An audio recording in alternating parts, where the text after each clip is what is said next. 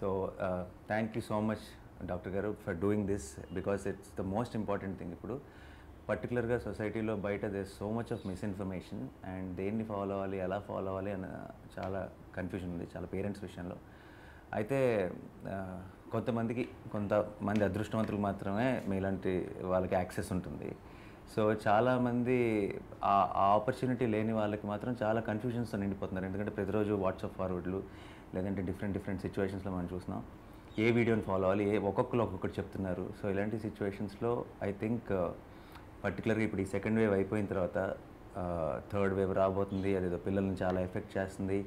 ఇలా రకరకాల భయాలు uh, పబ్లిక్లో ఉన్నప్పుడు I think there should be a one stop shop అంటే uh, ఎక్కడో ఒ- ఒక్క చోటకి వెళ్తే మనకి ఇన్ఫర్మేషన్ కరెక్ట్ ఇన్ఫర్మేషన్ దొరుకుతుందని ఒక అడ్రస్ ఉండాలి.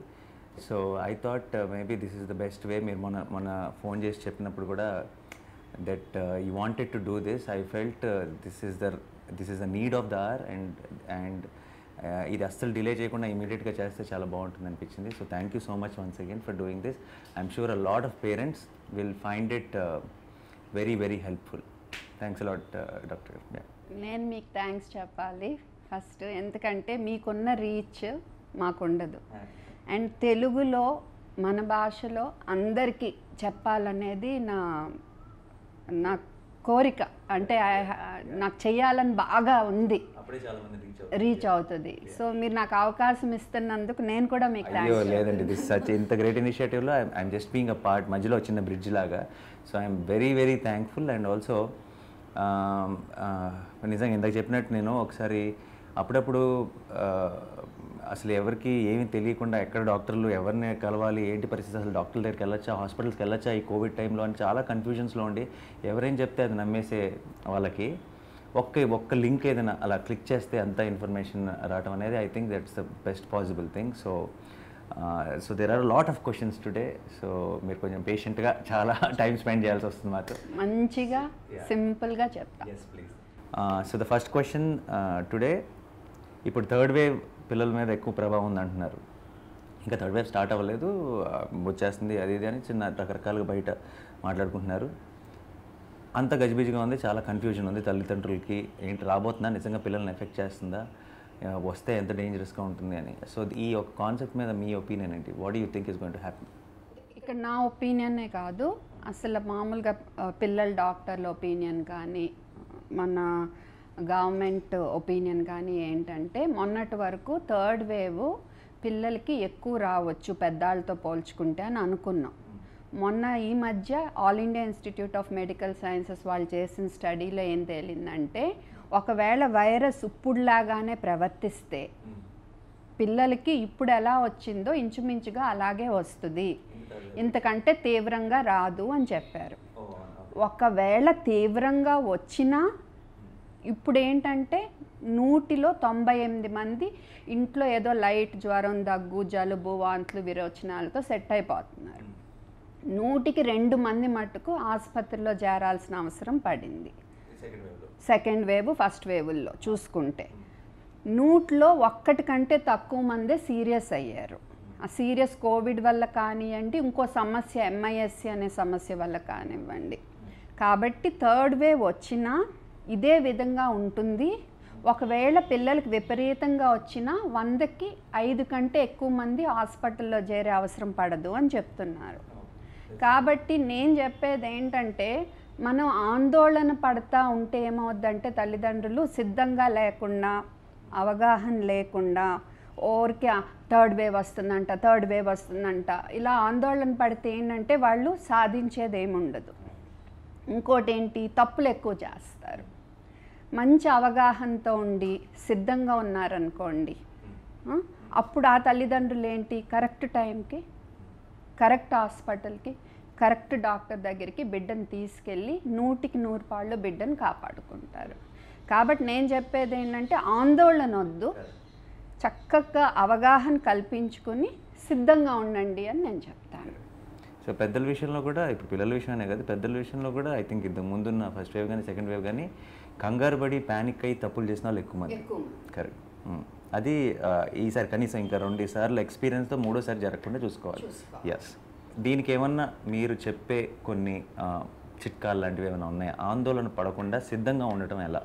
అన్నది how do you how how do we prepare them how do we ask them to be prepared for this ఇది మట్టుకు మీరు ఓపిక్గా వినాలి ఇప్పుడు ఇందాక నేను చెప్పే కదా చాలాసేపు పడుతుంది.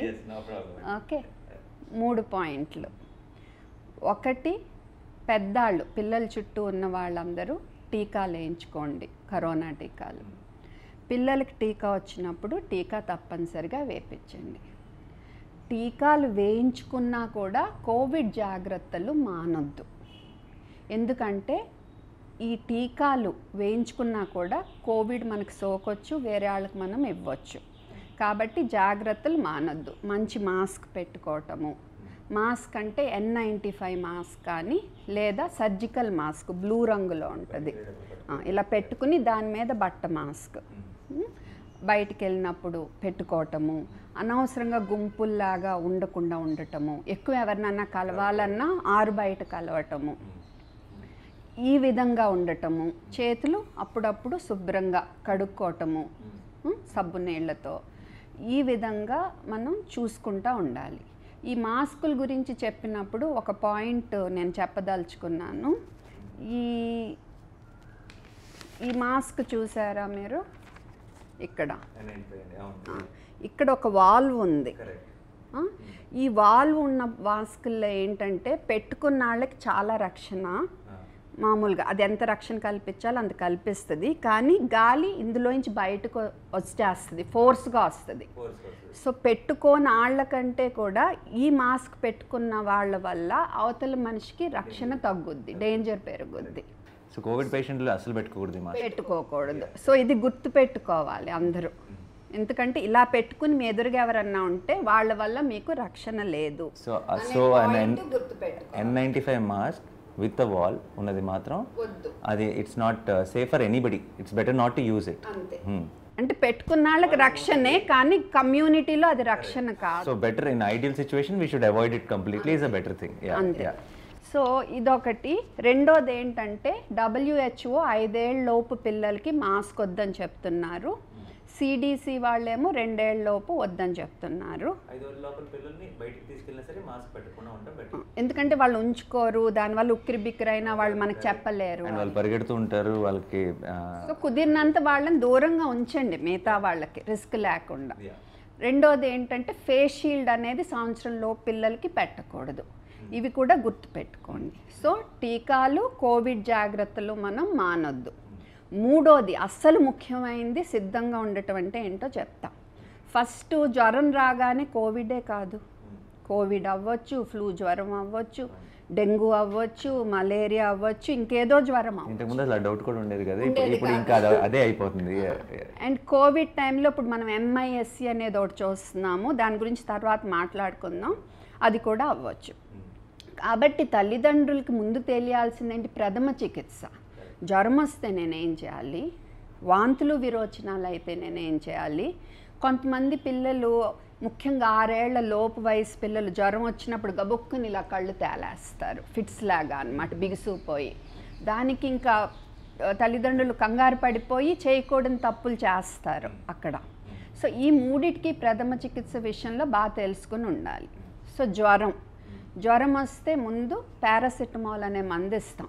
మనకు మార్కెట్లో క్రోసిన్ అని క్యాల్పాల్ అని P two fifty P one twenty Fepanil అని ఇలా దొరుకుతున్నాయి.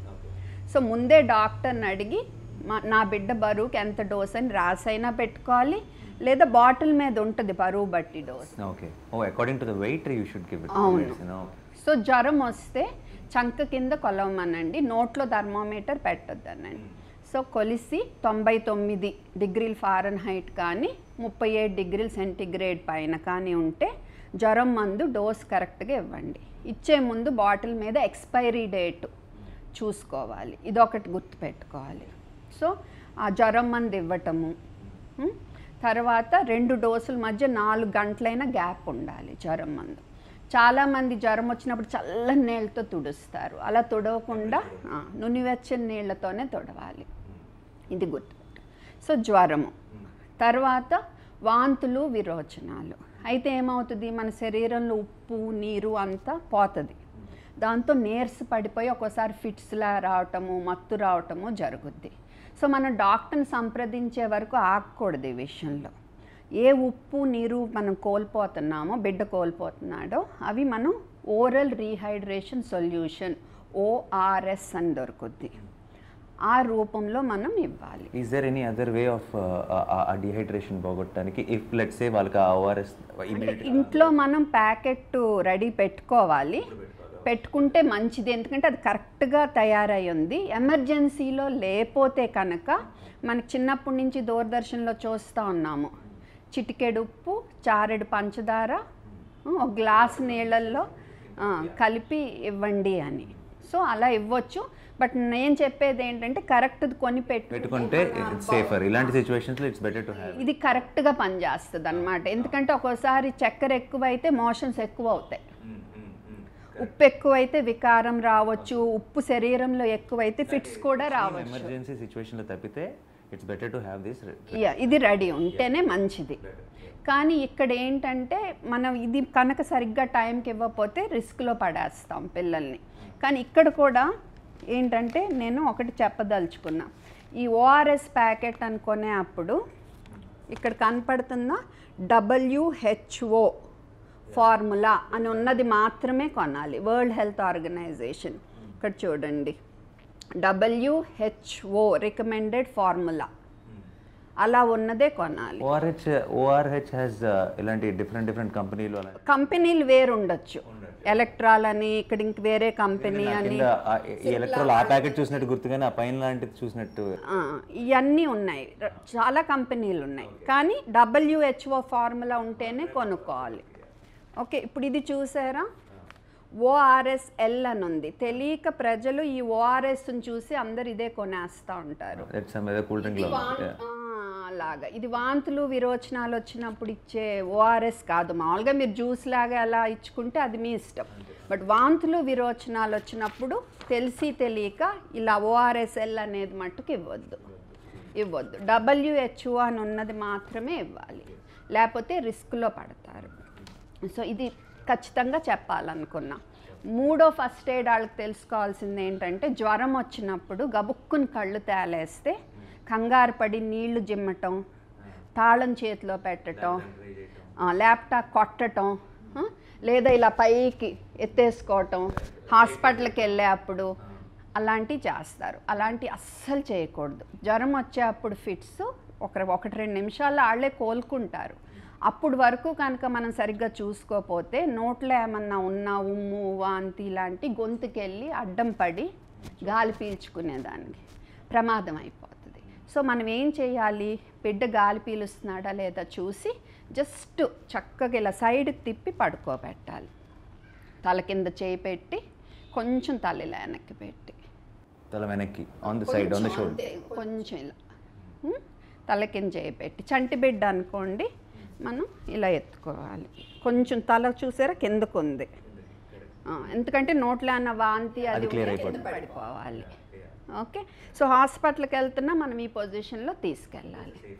ఎస్ సో ఈ మూడు మట్టుకు ప్రథమ చికిత్స తల్లిదండ్రులకి ఫస్ట్ క్లియర్ ఉండాలి. ఏ జ్వరమైనా అవనివ్వండి అది. మనకు సంబంధం లేదు. ఫస్ట్ ఇది. తర్వాత డాక్టర్ని సంప్రదించే వరకు. రెండు జ్వరం ఏదైనా అవ్వచ్చు. కాబట్టి మీరు కోవిడ్లో జలుబు దగ్గు జ్వరం వాంతులు విరోచనాలు కొంచెం పెద్ద పిల్లలు అయితే వాసన తెలియట్లేదని చెప్పగలరు. కాబట్టి మీకు కోవిడ్ అని ఇప్పుడు డౌట్ ఉంది. ఓకే? డౌట్ ఉంది అంటే ఏం చేయాలి? సరే టెస్ట్ చేయించాలి ఆ టెస్ట్ ఎప్పుడు చేయించాలి ఫస్ట్ డేనే చేసేస్తే ఒక్కోసారి పాజిటివ్ అయినా మనకి నెగిటివ్ రావచ్చు.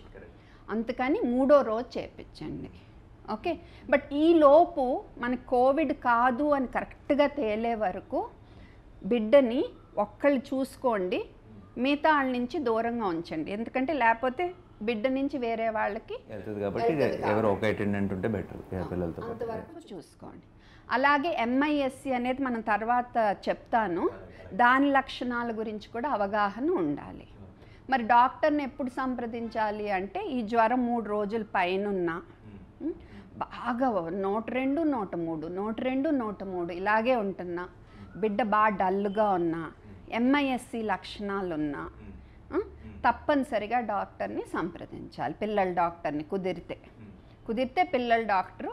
కుదరకపోయినా మనం ఊళ్ళల్లో ఉన్న మనకి ఆశా వర్కర్లు వీళ్ళ గురించి కూడా మనం తర్వాత డిస్కస్ చేసుకుందాము. ఉం? ఓకే సంప్రదించాలి. తర్వాత డేంజర్ సైన్స్ అంటే ప్రమాద సంకేతాల గురించి మంచి అవగాహన ఉండాలి. విపరీతమైన తలనొప్పి వాంతులు మత్తు కళ్ళు మసక ఇలా ఉన్నా మత్తుగా మత్తుగా ఉన్నా గుండె నాకేదో నొప్పిగా ఉందమ్మా నాకేదో తేడాగా ఉంది అని బిడ్డ చెప్తున్నా ఆయాసంగా అని అలా ఆయాసంగా ఉన్న బిడ్డ విపరీతమైన పొట్ట నొప్పి వాంతులు విరోచనాలు ఇలా ఉన్న బిడ్డ లేదంటే కాళ్ళు చేతులు చల్లగా ఉండి సొమ్మసిల్లిపోయినట్టు ఉన్నా లేదంటే ఫిట్స్ వచ్చినా లేదంటే ఆక్సిజన్ను తొంభై ఐదు శాతం లోపున్నా తప్పనిసరిగా ఆసుపత్రికి తీసుకెళ్ళాలి. ఇమీడియట్గా ఎమర్జెన్సీకి. Danger signs. ఖచ్చితంగా. ఇంకా ఆలస్యం చేయకూడదు రేపుడు కొందాం ఎల్లుండి కొందాం అని. అక్కడ కూడా మనం ముందే ఇప్పుడు ఇలాగ వస్తే నేను ఎక్కడికి తీసుకెళ్ళాలని ముందే రెడీ ఉండాలి. అప్పటికప్పుడు కంగారుగా ఎక్కడికి వెళ్ళాలి ఎక్కడికి వెళ్ళాలని ఉండకూడదు. ఫోన్ నెంబర్లు రాసి పెట్టుకోవాలి. అంబులెన్స్ నెంబర్ ti- ఆ టైంలో your presence of mind you cannot think పని చేయదు. Yeah. సో మీరు కామ్గా ఉండి సిద్ధంగా ఉన్నారనుకోండి ప్రశాంతంగా మీరు కరెక్ట్గా చేస్తారు చేయాల్సింది. సో ముందే రెడీ పెట్టుకోవాలి. ఇవన్నీ గోడ మీద రాసి ఉండాలి. ఈ నంబర్లు ఎమర్జెన్సీ నెంబర్లు ఇంట్లో ఎవరన్నా ఆ నంబర్కి ఫోన్ చేయగలగాలి. అండ్ వన్స్ ఇవన్నీ రెడీగా ఉండి ప్రిపేర్డ్గా ఉంటే తెలియని పీస్ కూడా ఉంటుంది first of all day to day ప్రశాంతంగా ఉంటుంది. ఎందుకంటే నా బిడ్డకి నేను ఏం చేయాలో తెలుసు నాకు. కోవిడ్ తొంభై ఎనిమిది వందలో తొంభై ఎనిమిది మందికి ఎక్కువ అవ్వదు. నాకు ప్రథమ చికిత్స తెలుసు. ఎక్కువైతే గుర్తించడం తెలుసు. వెంటనే తీసుకెళ్తాను. సో నా డాక్టర్లు వెంటనే చూస్తారు. చక్కగా నూటికి నూరు శాతం నా బిడ్డ బాగుంటాడు. ఈ ధీమా రావాలి. దీని దీనివల్ల ముందు పేరెంట్స్ హెల్త్ కూడా బాగుంటుంది. ఊరికే వరి అయ్యి వరి అయ్యి వాళ్ళు అసలు ఎంత పానిక్ అయిపోతున్నారు. వాళ్ళు ఒక్కొక్కరు గుండె రేటు కొలిస్తే అండ్ పొద్దున్న లెగిస్తే మనకు సోషల్ మీడియాలో కానీ ఇంకో సైడ్ కానీ టీవీ పెట్టినా సరే రకరకాల information and you don't know what to follow అంతే. అంటే ఒక ఒక ఒక రాంగ్ ఇన్ఫర్మేషన్ని కూడా అంటే ఇప్పుడు మనం ఎంత కాపీ పేస్ట్ సొసైటీ అయిపోయామంటే అంటే before forwarding before it sending it to someone is this true or not అనే ఒక బేసిక్గా చెక్ కూడా చేసుకోవట్లేదు మనం. అంటే if it's if the news is exciting will forward it immediately if they say third wave is here will forward it if they say ముందు వచ్చేసిందంట will forward it if we say so anything అంటే everyone wants to be the first person అంటే ముందు ఎలాగో information అలా share చేసేసుకుందాం అంతే తప్పితే correct చెప్పారు మీరు. Everybody wants to be the first person కొంచెం పాజ్ చేసి ప్రాక్టీస్ పాజ్ అంటాం. కొంచెం ఆలోచించి దీనివల్ల నేను వేరే వాళ్ళకి నష్టం కలిగిస్తున్నానా లాభం కలిగిస్తున్నానా ఒక్కసారి ఆలోచించాలి. అండ్ ఇట్స్ మోస్ట్ ఇంపార్టెంట్ అంటే నౌ దట్ ఫాల్స్ ఇన్ఫర్మేషన్ అనేది ఇంకా అన్ని చోట్ల ఉంది అన్ని ఇండస్ట్రీస్లో ఉంది పాలిటిక్స్లో మన మా సినిమాల విషయంలో కూడా చాలా ఫాల్స్ ఇన్ఫర్మేషన్ ఉంది. బట్ కనీసం ఇది అంత డెడ్లీ కాదు. ఇట్స్ పర్టికులర్గా మెడికల్ హెల్త్కి సంబంధించిన విషయాల్లో false information is very very dangerous so that needs to be addressed immediately so misinformation is more dangerous than correct information I mean not knowing correct correct information so ఇది ఇంకా isolation అంటే ఏంటి? Quarantine అంటే ఏంటి? బిడ్డకి Covid వస్తే ఎవరు చూసుకోవాలి? ఒకవేళ తల్లికి కోవిడ్ వస్తే బిడ్డను తల్లి చూసుకోవచ్చా? ఇంకెవరన్నా చూసుకోవాలా? తర్వాత ఏం చెయ్యాలో కాకుండా ఏం చెయ్యకూడదు అనేది కూడా మనం తెలుసుకుని ఉండాలి. ఆ ఏం చేయకూడదు అనేది కూడా మనం తదుపరి డిస్కషన్లో వస్తుంది మనకి. ముందు చిన్నప్పటి నుంచి మనకు తెలిసిన కొన్ని అలవాట్లు ఉంటాయి అవి డిజోన్ చేసుకోవాలి first. So unless you do that you won't understand this correct అంటే కొన్ని కొన్ని హార్మ్ఫుల్లీ చేస్తున్నారు. అవి కూడా మనం డిస్కస్ చేసుకుందాం. సో ఈ విధంగా సిద్ధంగా ఉండాలి. టీకాలు కోవిడ్ జాగ్రత్తలు ప్రథమ చికిత్స కోవిడ్ లక్షణాలు ఎంఐఎస్సి లక్షణాలు ప్రమాద సంకేతాలు ఎప్పుడు ఎవరిని ఎలా సంప్రదించాలి ఎమర్జెన్సీ నంబర్లు అండ్ కోవిడ్ గురించి మిగతా విషయాలు ఏం చేయకూడదు. ఇవన్నీ కూడా తెలుసుకుని ఉంటే ప్రశాంతంగా ఉంటుంది. Most important thank you so much I I know how much of ఇప్పుడు ఇంకా చాలా మనకు క్వశ్చన్స్ చాలా ఉన్నా సరే this point itself is actually చాలా చాలా మెయిన్ టాపిక్స్ అన్నింటిని కవర్ చేసింది. If you can listen to this you kind of get a చాలా ఒక బేసిక్ నాలెడ్జ్ ఎలా హ్యాండిల్ చేయాలన్న దాని మీద ఈ- విషయంలో వచ్చేసింది. సో దట్స్ అవసరం అందుకే చెప్పా మీరు ఓపిక్గా వినాలి. అయ్యో ఎంతైనా. అందరూ ఓపిక్గా వినాలని కోరుకుంటున్నాను నేను మాత్రమే. ఇందాక కూడా డాక్టర్ గారు మనం మాట్లాడుతున్నప్పుడు మీరు రెండు మూడు సార్లు ఎంఐఎఫ్సి అన్నారు. అదేంటి ఆ ప్రాబ్లం ఏంటి? అది చాలా పెద్ద డేంజరా is it related to covid or what is it covid మొదలయ్యాక ప్రపంచంలో అప్పుడే ఇది చూడటం మొదలు పెట్టాం మనం. Okay. So it's side effect of covid or something corona మనకి సోకింది అనుకోండి దాని లక్షణాలు మనకు వస్తే మనం కోవిడ్ అంటాం. కరోనా లక్షణాలు మనకు బయట పడలేదనుకోండి దగ్గు లేదు జలుబు లేదు జ్వరం లేదు ఏమీ లేవనుకోండి ఏ సిమ్టమాటిక్ అంటాం. అంటే మనకు కరోనా సోకింది కానీ లక్షణాలు లేవు. ఈ ఎంఐఎస్సి అనేది ఏంటంటే కరోనా మనకి సోకేక. అంటే కోవిడ్ లాగా బయట పడినా పడకపోయినా సోకితే చాలు. అంటే మన శరీరంలో కరోనా వైరస్ వెళితే చాలు. కొన్ని వారాలకి సుమారుగా నాలుగు నుంచి ఆరు వారాల లోపు నా కరోనా సోకిన నాలుగు నుంచి ఆరు వారాల లోపు ఈ ఎంఐఎస్సి అనే సమస్య తలెత్తుతుంది. ఇది వైరస్ వల్ల డైరెక్ట్గా కాదు ఈ వైరస్ మన రోగనిరోధక శక్తిని గట్టిగా కొట్టడం వల్ల కొన్ని సైటోకైన్స్ అనే కెమికల్స్ ఉధృతంగా మన శరీరంలో రావటం వల్ల వచ్చే సమస్య.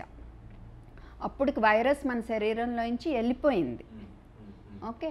సో తర్వాత వస్తుంది. ఇది చాలా అరుదైన సమస్య. కానీ దీన్ని ముఖ్యంగా ఎందుకు అండ్ మొన్న కోవిడ్ సెకండ్ వేవ్ పీక్లో ఉన్నప్పుడైతే బాగా హై ఉన్నప్పుడైతే ఇది బాగా చూసాం పిల్లలకి ఇది రావటం కూడా. ఇప్పుడు కొంచెం తగ్గుముఖం పట్టింది. కోవిడ్ తగ్గుముఖం పట్టిన కాడి నుంచి ఇది కూడా తగ్గు తగ్గుముఖం పట్టడం మొదలు పెట్టింది but exactly what are the effects అండి అదే. సో దీనికి దీనికి ఎంత ఎందుకు చెప్తున్నామంటే ప్రాముఖ్యత ఇస్తున్నాం. ఇది అరుదే కదా అని మీరు అనొచ్చు. ఎందుకంటే ముందుగా గుర్తిస్తే నూటికి నూరు శాతం బిడ్డకి ప్రమాదం రాకుండా చూసుకోవచ్చు. గుర్తించలేదా? ఒక్కోసారి గుండె దెబ్బ తినొచ్చు మెదడు దెబ్బ తినొచ్చు కిడ్నీ దెబ్బ తినొచ్చు. చాలా ప్రమాదం అవ్వచ్చు. అదే. సో ఇది మూడు రకాల లక్షణాలు ఉంటాయి ఓకే? మూడు రకాలు ఏంటి ఉట్టి జ్వరంతో వచ్చి ఓ మూడు నాలుగు రోజులు తగ్గిపోవచ్చు. ఓకే? రెండోది ఏంటి కవాసాకి సిండ్రోమ్ అని ఒకటి ఉంది ఎప్పటి నుంచో. దాని లక్షణాలను పోలిన లక్షణాలు రావచ్చు. అంటే జ్వరం అన్నిట్లో జ్వరం అనేది ఉంటుంది. జ్వరం కామన్ జ్వరంతో పాటు ఒంటి నిండా ఎర్ర మచ్చలు. ఒంటి నిండా. కళ్ళు నాలుక ఎర్రబడటం. మెడ ఒక పక్కన వాయటం. లింఫ్ నోడ్స్ అంటారు. అవి వాయటం ఒక పక్కన. పాదాలు చేతులు ఎర్రబడి వాయటం. లేదా తోలు ఊడిపోవటం వేళ్ళ చివర. ఇటువంటి లక్షణాలతో బయటపడవచ్చు ఇటువంటి దాంట్లో ఏంటంటే గుండె యొక్క రక్తనాళాలని కరోనరీస్ అంటాం. అవి ఉబ్బటం వాటిని ఎన్యూరిజమ్స్ అంటాం. ఉబ్బటం జరగవచ్చు ఇలా ఉంటే ఏంటంటే బిడ్డకి ఒక్కొక్కసారి జీవితాంతం కూడా మన హార్ట్ డాక్టర్తో ఫాలో అవ్వాల్సి వస్తుంది. హార్ట్ అటాక్ రిస్క్లో పడవచ్చు సీరియస్ జాగ్రత్త కొంతమందికి తొందరగా తగ్గిపోవచ్చు. కాబట్టి ఇది అంటే గుండె సంబంధించిందంటే మరి డెఫినెట్గా మనం అది సీరియస్ సో మీరు చెప్తున్న ఈ సింటమ్స్ ఏం ఏం చూసినా సరే ఇమీడియట్గా డాక్టర్ దగ్గర తప్పనిసరిగా తప్పనిసరి జ్వరంతో పాటు ఇవి ఉంటే మీరు సంప్రదించండి. మూడు రోజుల పైన జ్వరం ఈ కోవిడ్ టైంలో. మీ ఇంట్లో ఎవరికన్నా కోవిడ్ వచ్చి తగ్గిపోయినా మళ్ళా జ్వరం వస్తే? లేదా బిడ్డకు కోవిడ్ వచ్చి తగ్గిపోయినా మళ్ళా జ్వరం వస్తే. లేదా ఒక్కోసారి ఏమవుద్దంటే మనం ఏసిమ్టమాటిక్ అన్నా కదా లక్షణాలు బయటపడిన వాళ్ళని ఎవరినో పిల్లాడు కలిసి ఉండొచ్చు వీడికి ఏమి బయటపడి ఉండకపోవచ్చు పేరెంట్స్కి తెలిసి తెలియకపోవచ్చు. కరెక్ట్ కరెక్ట్ కాబట్టి ఈ టైంలో ఏ జ్వరమైనా మూడు రోజుల పైన ఉంటే ఉంటే ప్లస్ ఈ సిమ్టమ్స్ ఉంటాయి అవి కోవిడ్ సిమ్టమ్స్ అవసరం అవసరం లేదు. ఇంతకుముందు వచ్చి పో పోయి ఉండక్కర్లేదు సిమ్టమాటిక్ ఉండొచ్చు ఏదైనా సరే. మీరు చెప్తున్న సిమ్టమ్స్ కనుక కనపడితే ఇమీడియట్గా డాక్టర్. కనపడినా మూడు రోజుల పైన జ్వరం ఉన్నా ఇంక వేరే ఏం లేకపోయినా కూడా డాక్టర్ని సంప్రదించాలి. మూడో రకం. ఇది ఇంకా బాగా సీరియస్. జ్వరము జ్వరంతో పాటు ఒక్కోసారి మెదడు ఎఫెక్ట్ అయితే మనకి మెడ నొప్పి ఇలా మత్తు ఇలాగా బయటపడవచ్చు తలనొప్పి మసక ఇలాగా. లేదా ఛాతిలో నొప్పి గుండె గుండె కొట్టచ్చు అది. గుండె రక్తనాళాలను కొట్టొచ్చు గుండెని కొట్టొచ్చు. ఛాతి నొప్పి ఏంటో తేడాగా ఉండటము? పేగును కొడితే విపరీతమైన పొట్ట నొప్పి వాంతులు విరోచనాలు ఇలా రావటము. తర్వాత బాగా డల్గా ఉండటము చేతులు కాళ్ళు చల్లబడిపోవటము షాక్ అంటాం అన్నమాట. అలా ఉన్నా కానీ ఆయాసంగా ఉన్నా కానీ బాగాలేదు బిడ్డ అనిపించినా కానీ వెంటనే మనం ఎమర్జెన్సీకి వెళ్ళిపోవాలి.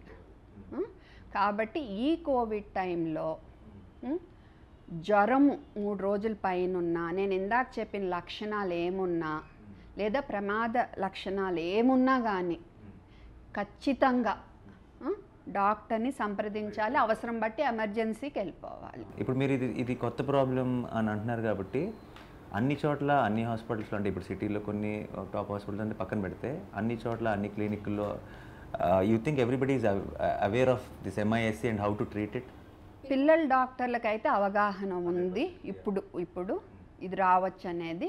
కానీ ట్రీట్మెంట్ మటుకు ఐసీయూ ఉన్న హాస్పిటల్కి తీసుకెళ్తేనే మంచిది. మంచి ఇంటెన్సివ్ కేర్ యూనిట్ ఉన్న ఆసుపత్రులకి తీసుకెళ్ళాలి. ఈ పర్టికులర్ సిమ్టమ్స్ కనిపించినప్పుడు మాత్రం. ఎందుకో చెప్తాను. ఇప్పుడు ఇది మనకి డౌట్ వచ్చినప్పుడు మనం డాక్టర్ని సంప్రదిస్తే దీన్ని ఎలా నిర్ధారిస్తారంటే ముందు ఇది సీజన్లో వచ్చే డెంగ్యూ మలేరియా ఇంక వేరే క్రిముల వల్ల వచ్చే ఇన్ఫెక్షనా అని ముందు టెస్టులు చేసి అవి కాదని ఫస్ట్ నిర్ధారిస్తారు. తర్వాత బ్లడ్లో యాంటీబాడీ కరోనా యాంటీబాడీస్ చెక్ చేస్తారు. అవి పాజిటివ్ ఉండి వేరే ఇన్ఫెక్షన్ కాదు అని ఉండి ఇంకా చెప్పాలంటే ఫ్యామిలీలో ఈ మధ్య కోవిడ్ వచ్చింది కుటుంబంలో అని తెలిస్తే మనకి ఇంకా క్లియర్ అవుద్ది అనమాట ఇది ఎంఐఎస్సి అని.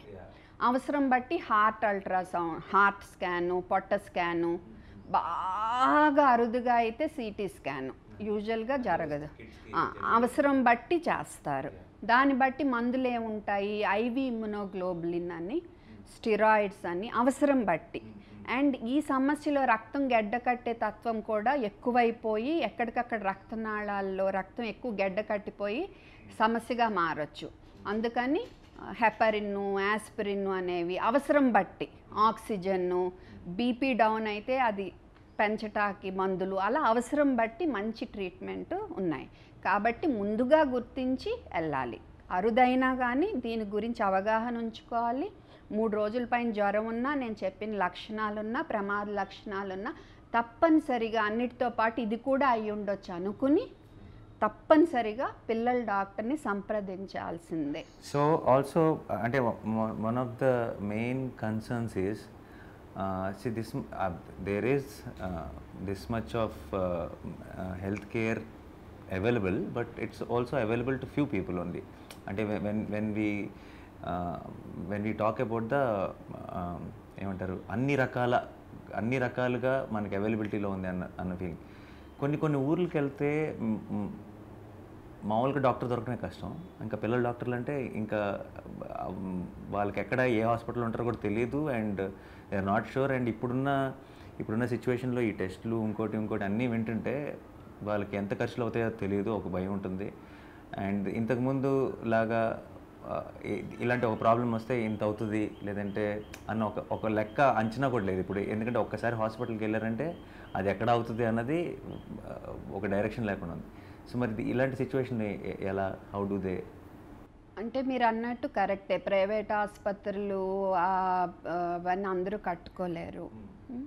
తర్వాత కానీ నేను చెప్పదలుచుకుంది ఏంటంటే ఇప్పుడు మన గవర్నమెంట్ ఈ థర్డ్ వేవ్ వస్తే మనం ఎలా సిద్ధంగా ఉండాలన్న దాని గురించి మంచి ప్రణాళిక తయారు చేశారు.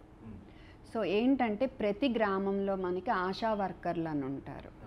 ఓకే మల్టీపర్పస్ హెల్త్ వర్కర్లు ఉంటారు. మీరు ఫస్ట్ ఆన్సర్ అప్పుడు మెన్షన్ చేశారు ఆశా వర్కర్స్ అని. ప్రైమరీ హెల్త్ సెంటర్ ఉంటారు అందులో ఒక డాక్టర్ ఉంటారు. మినిమం ఎంబీబీఎస్ క్వాలిఫికేషన్ డాక్టర్స్ ఉంటారు. సో వీళ్ళు ఏంటంటే వీళ్ళందరికీ కోవిడ్ గురించి ఎంఐఎస్సి గురించి బేసిక్ ట్రైనింగ్ ఇస్తున్నారు. అంటే లక్షణాలు ఎలా గుర్తించాలి? ఆక్సిజన్ ఎలా కొలవాలి? రోజుకి ఎన్నిసార్లు కోవిడ్ పేషెంట్లను చెక్ చేయాలి? ఎప్పుడు మీరు ఆ పై సెంటర్కి పంపించాలి అనేది ట్రైనింగ్ ఒకటి. కోవిడ్ కేర్ సెంటర్లని ఓళ్ళల్లో పెట్టబోతున్నారు. ప్రైమరీ హెల్త్ సెంటర్ని కోవిడ్ కేర్ సెంటర్గా అవసరం బట్టి మారుస్తారు. డిస్ట్రిక్ట్ ఆసుపత్రులు వీటినేమో డెడికేటెడ్ కోవిడ్ హెల్త్ కేర్ సెంటర్లని మార్చబో సో అందులో ఆక్సిజన్ వరకు ఉండేటట్టు కొన్ని పెద్ద డిస్ట్రిక్ట్ హాస్పిటళ్ళు మెడికల్ కాలేజీలు మన నీలోఫర్ ఇలాంటివన్నీ అయితే వెంటిలేటర్లు ఇంకా పెద్ద ఐసీయూలు ఉన్నట్టుగా సెట్ చేస్తారు. ప్రతి ఊరికి ఒక అంబులెన్స్ ఉండేట్టు చూడబోతున్నారు. ఇది ప్రణాళిక. Okay? But is it full in place now start it is చేస్తారనే గట్టిగా నేను నమ్ముతున్నాను. ఒకవేళ చేయలేకపోయినా నేను చెప్పేది ఏంటంటే మన గ్రామ పంచాయతీ వాళ్ళు ఉన్నారు. వీళ్ళు చొరవ తీసుకుని చొరవ తీసుకుని ఈ అంబులెన్స్ వరకు తర్వాత ఈ ఆశా వర్కర్ల ట్రైనింగ్ వరకు వాళ్ళు కూడా చొరవ తీసుకుని చేపించుకుని పార్టిసిపేట్ చేస్తే for their own safety ya చేయగలం కరెక్ట్ కరెక్ట్ కాబట్టి తప్పకుండా ఇది సక్సెస్ అవుద్దనే నేను అనుకుంటున్నాను. ఫ్లూ వ్యాక్సిన్ అనేది ఉంది కదండి. ఈ ఫ్లూ వ్యాక్సిన్ అంటే ఇప్పుడు మనకి జనరల్గా కోల్డ్ అండ్ ఫీవర్ సిమ్టమ్స్కి సంబంధించి it it works I think so కొంతమందికి ఇంకా కన్ఫ్యూజన్ ఏంటంటే ఈ ఫ్లూ టీకా అనేది కరోనాకి సంబంధించి కూడా పనిచేస్తుందా? పిల్లల్ని పర్టికులర్గా కరోనా నుంచి కాపాడుతుందా? సో ఫ్లూ టీకా అనేది కరోనా నుంచి కాపాడొచ్చేమో అని ఒక చిన్న ఆలోచన దాని మీద రీసెర్చ్ జరుగుతుంది. కానీ మనకి దాని మీద కరెక్ట్గా ఆధారాలు లేవు. కాబట్టి ఇప్పటి వరకు అయితే ఫ్లూ టీకా ఫ్లూ జ్వరాల నుంచే కాపాడుతుంది అనేదే మనకి ప్రూఫ్ ఉంది అంతే. అంతే. ఆ అవగాహనతోనే ఉండాలి. We don't have enough studies in that direction flu టీకా అనేది మనం ఎప్పటి నుంచో ఇస్తున్నాము. ఆరు నెలలు దాటాక ఫస్ట్ డోస్ ఇస్తాము. ఫస్ట్ టైం ఇచ్చినప్పుడు తొమ్మిదేళ్ళ లోపు పిల్లలు అయితే రెండు డోసులు నెల గ్యాప్లో ఇస్తాము. తొమ్మిదేళ్ళు దాటితే ఫస్ట్ టైం కూడా ఒక డోసే. ఆ తర్వాత సంవత్సరానికి ఒకసారి ఇవ్వాలి. ఎందుకంటే ఫ్లూ వైరస్ కూడా మీరు టీవీలో చూసే ఉంటారు. కరోనా వైరస్ మ్యుటేషన్ మ్యుటేషన్ అని. అలా ఫ్లూ వైరస్ కూడా మారిపోతూ ఉంటుంది. కాబట్టి ఏ సంవత్సరానికి ఆ సంవత్సరం ఫ్లూ టీకా ఇమ్మంటాము. ఎవరికి గట్టిగా ఇమ్మని చెప్తాము? ఐదేళ్ళ లోపు పిల్లలకు కానీ లేదా ఆస్మా గుండె జబ్బు కిడ్నీ జబ్బు ఇలా జబ్బులు ఉన్న పిల్లలకు కానీ ఖచ్చితంగా ఇవ్వండి. ఎందుకంటే వాళ్ళల్లో ఫ్లూ తీవ్రమయ్యే ఛాన్స్ ఎక్కువ ఉంది కాబట్టి అని ఎప్పటి నుంచో చెప్తున్నాము. ఇప్పుడు ఫ్లూ టీకా అదే.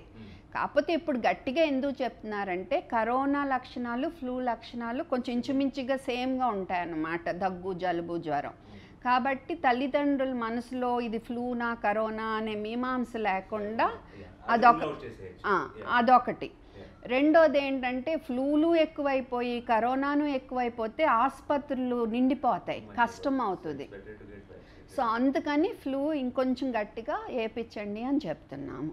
సో ఈ అవగాహనతోనే వేయించుకోవాలి తప్ప అమ్మో ఫ్లూ కరోనా నుంచి మనకి మన బిడ్డను కాపాడదని గబగబా పరిగెట్టుకెళ్ళిపోయి గుంపులుగా హాస్పిటల్కి వెళ్ళిపోయి చేయించుకుంటే వాళ్ళకి అక్కడి నుంచి కరోనా ఎక్కించుకుని తీసుకొస్తారు. తర్వాత వ్యాక్సిన్ రియాక్షన్ వచ్చినప్పుడు మనం ఎడ్రీనలిన్ అనే మందు ఇవ్వగలగాలి. అలా ఫెసిలిటీ లేని చోట గబగబా వెళ్ళి ఫ్లూ వ్యాక్సిన్స్ ఏం చేసుకుని అన్న రియాక్షన్ వచ్చిందనుకోండి సమస్య అవుతుంది. కాబట్టి చక్కగా ప్లాన్ చేసుకుని వెళ్ళాలి తప్ప హడావిడిగా వెళ్ళే అంత పరిస్థితి ఏం లేదు ఇది.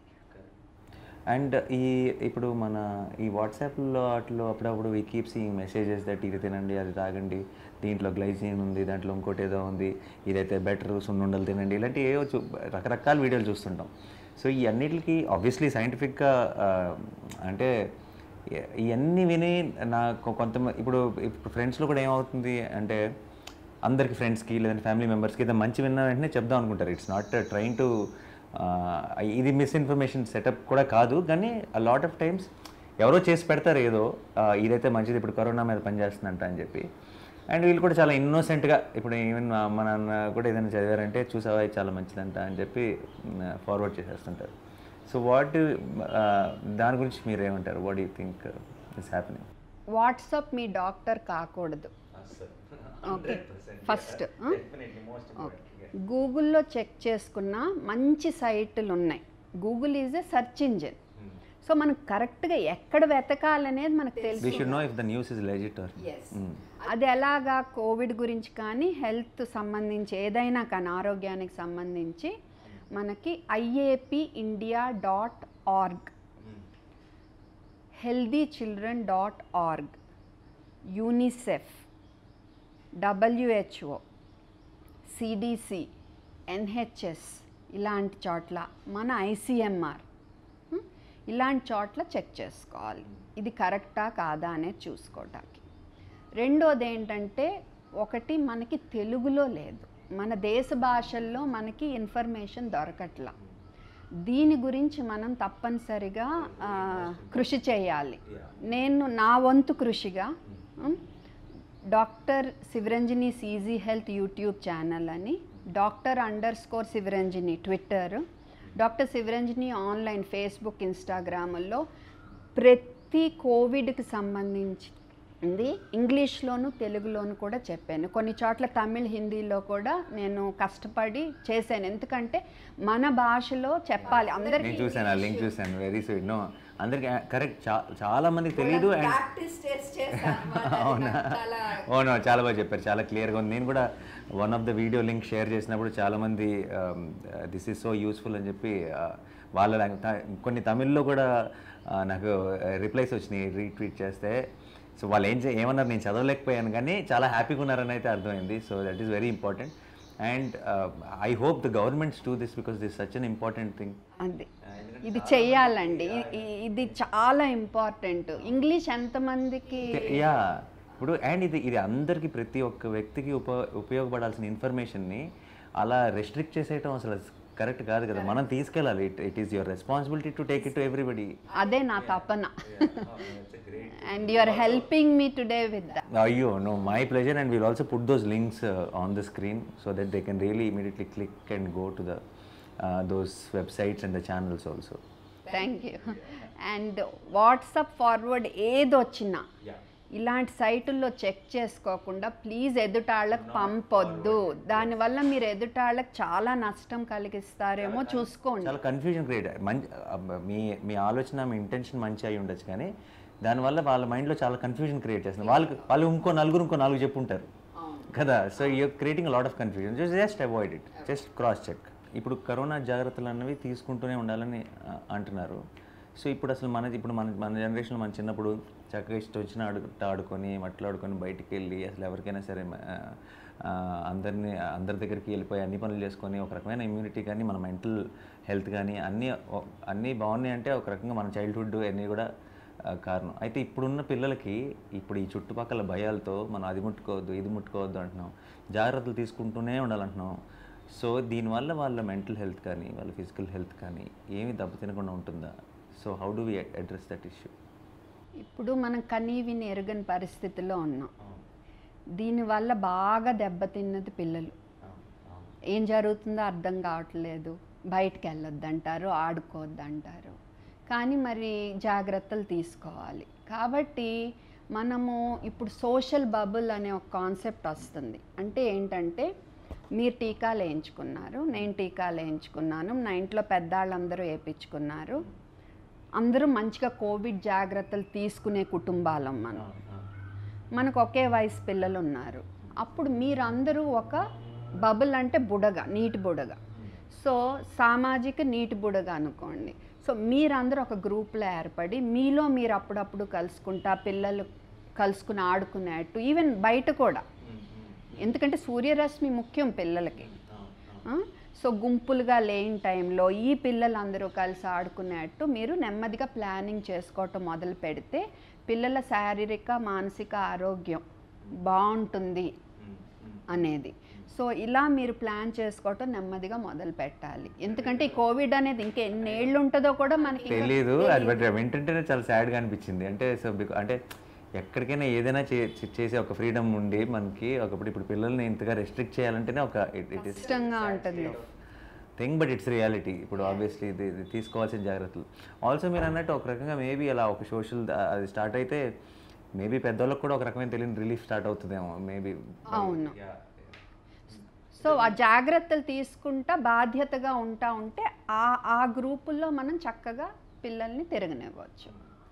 చాలా మందికి ఉన్న కన్ఫ్యూజన్ ఏంటంటే ఇప్పుడు వ్యాక్సిన్ వేసుకున్నాం సేఫే కదా మేము. ఇంకా ఎందుకు జాగ్రత్తలు తీసుకోవాలి అన్నది ఈవెన్ దో చాలా డిఫరెంట్ డిఫరెంట్ వర్షన్స్ చాలామంది చెప్పినా సరే ఇట్స్ చాలా